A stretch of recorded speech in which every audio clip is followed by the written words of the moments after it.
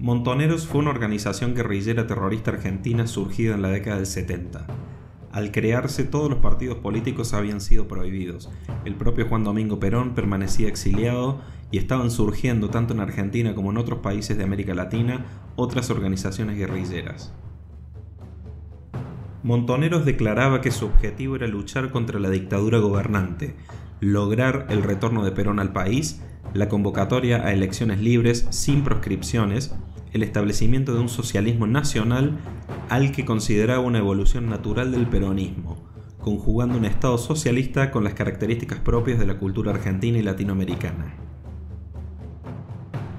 El ERP, por su lado, Ejército Revolucionario del Pueblo, fue otro grupo guerrillero argentino que constituyó la estructura militar del Partido Revolucionario de los Trabajadores de orientación marxista, liderado por Mario Roberto Santucho durante los años 1970 hasta principios de 1977, cuando quedó desarticulado tras el operativo Independencia de 1975 y el accionar represivo del proceso de reorganización nacional.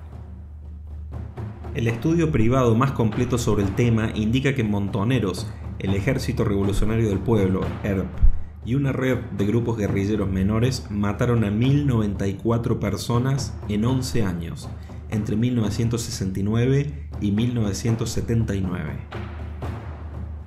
Estas 1094 muertes comprendían desde políticos, empresarios, gremialistas, periodistas, funcionarios públicos, sacerdotes, diplomáticos, dirigentes estudiantiles, subversivos arrepentidos, esposas de militares, niños, personal del ejército, marina, fuerza aérea, gendarmería y policía federal. Este estudio fue realizado por el Centro de Estudios Legales sobre el Terrorismo y sus Víctimas, que durante más de tres años analizó información publicada por cuatro diarios nacionales y diversos libros, así como revistas de los grupos guerrilleros. Para más detalles, en la descripción del video se detallan los nombres de las víctimas.